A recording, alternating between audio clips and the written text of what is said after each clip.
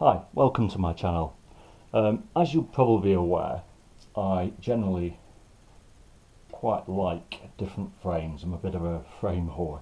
Um, this is my Avant Leggero S5 which I'm currently flying at the moment and I really like this frame um, so I was just in the in the market really for some spare parts for it because um, I'm basically really bashing um, this frame up at the moment simply because I keep crashing all the time into trees etc. Um, and I went onto Avant's website and I noticed they've changed carbon suppliers and the carbon on the new Leggeros um, is basically better carbon than it was um, previously and it's now cut at a 45 degree angle which basically means it's much stronger um, and much stiffer and of course the stiffer a frame is um, the better it will fly. Um, you'll be able to raise your uh, your piece higher um, because the, the arms will be flexing less under load. Um, so as you can see this is a really good frame. I love this frame. Um, and it flies really well. But if you look at this there is you probably can't see it there is a little bit of flex if you give it full beans it does flex. Um, so if I put this aside this is a spare base plate for it. And this is one of the new ones where the carbon has been cut at a 45 degree angle. Um, as usual beautifully chamfered. Um, everything is perfectly cut. But what this does is make it rock strong. If I tilt it up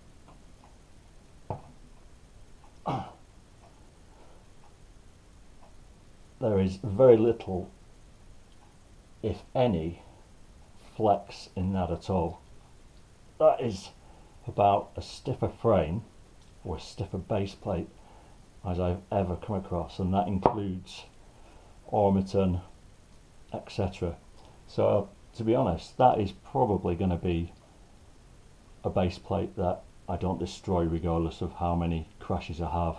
What I'll probably do um, is put some super glue or CA glue along the uh, along the edges just to uh, to stop it from peeling if I do repeatedly hit it. But one of the ideas of it being chamfered is it takes away the sharp edge, um, so you're less likely to to peel the top away from it but it's an absolutely lovely base plate. The major reason for this video though is as I was getting that base plate I purchased this which is the Leggero S4 Extreme Edition. And this one is 4mm carbon. Um, again with the new carbon it's been cut to 45 degrees. So it's um, it's really strong again.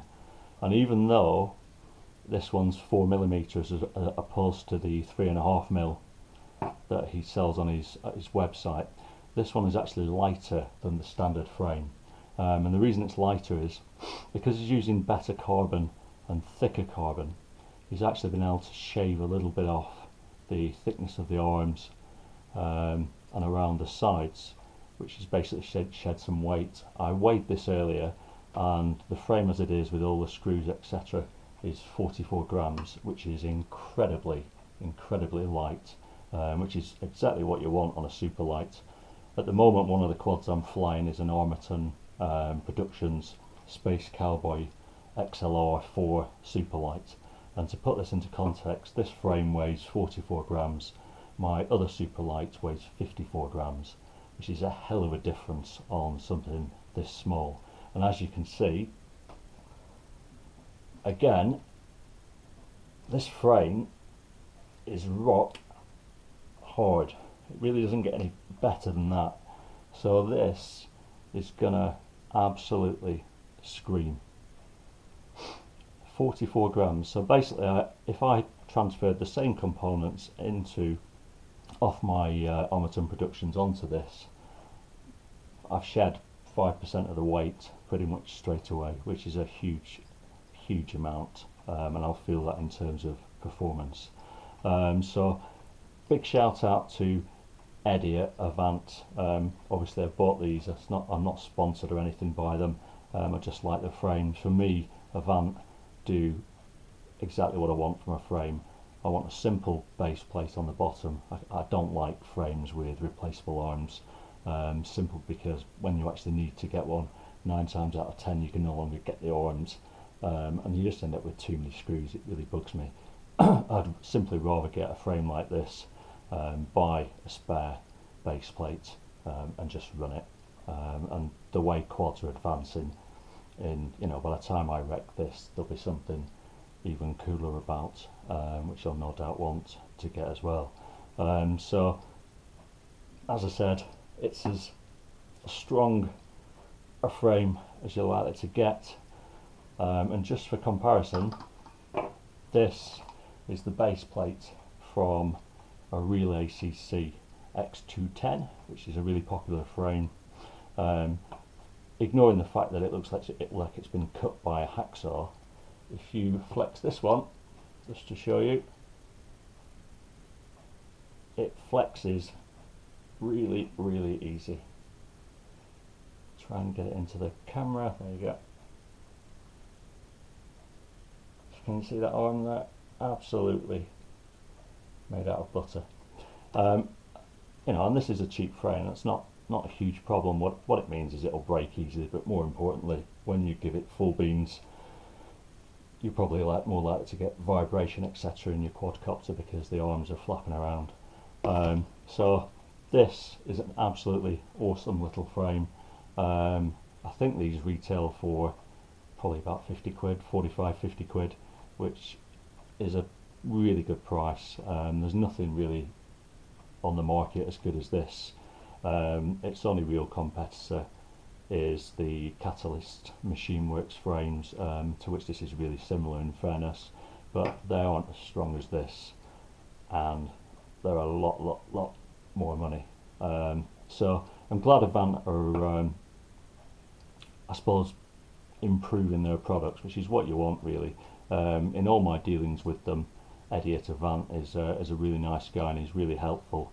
Um, I had a little chat with him the other day um, following receiving this just to say how much I was impressed by um, by the stiffness of this carbon and he let me know that um, in the not too distant future he's got a 3 inch frame coming out um, which will hold a Runcam Micro um, 20 millimeter uh, flight control uh, flight controller stack in fact if you look at this one you can actually use um, a 20 by 20 one of those new micro um, flight controllers or flight controllers with built-in um, 4-in-1 ESCs so it's already set up but as I said it's got a new 3 inch frame coming out um, which sounds like it's going to the, the, frame itself will weigh about 24 grams and is looking at probably an all-up weight of maybe 130 or 140 grams so that'll be really one to um, to look out for as well um, especially if it's running 1407 motors which is what you would be putting on uh,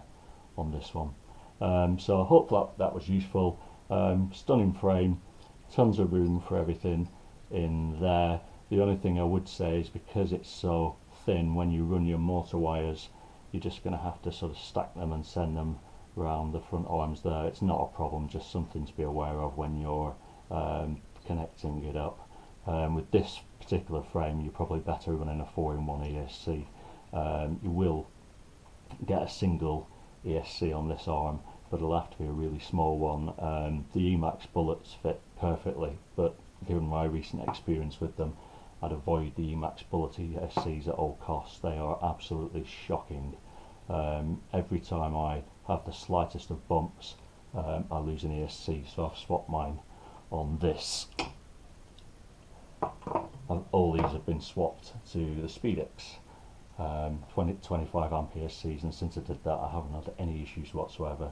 Um, so just keep an eye out. There, there are other small ESCs on the market but with this it's probably just easier to run um, a 4-in-1 and given the amount of room you've got there if you run a 4-in-1 um, and possibly a DYS F4 or something like that, you'd probably still have room for the Runcam split when it comes out, which for me um, and my level of flying is going to completely change things because the one thing I hate about these Superlights, um, Superlight 4 inch frames is you, you can, but they're not really designed to run uh, a GoPro or a Runcam 3 action camera. Um, and the Runcam split when it comes out will fit nicely in here and allow you to get HD footage uh, when you're flying around from the normal um, camera, which is, you know, for me wiping out the big downside of, um, of these smaller frames. So as I said, check this out. This is the Leggero S4 um, Superlight Extreme version. Um, Avant quads, I'll put the link in um, in the description. Um, but it's a really, really good frame. Um, everything's perfectly cut, uh, beautifully designed. Carbon is now 45 degrees um, and it's as stiff as anything I've ever come across. In fact, probably the stiffest frame I've ever seen, to be honest with you. Um, hope that was useful. Any questions, let me know. Um, as I said, I, I don't have any, I'm not sponsored by Avant or anything like that. It's simply, I like these frames. I've, I've had maybe five or six different Avant frames. I've had a Nexx 5 Nexx 3 the Leggero, etc. And I've liked them all. Um, I particularly like the blue um, carbon. They do do a red edition as well, but I've always gone for the um, for the blue one. Um, as you can see on here, ignore that. That's just um, silicon that I put on when I run my um, action camera on top. But you know, this is a Leggero S5, and as you can see, really, really low profile frame. Um, beautiful frame. So check them out. Thanks a lot, guys. Cheers. Bye bye.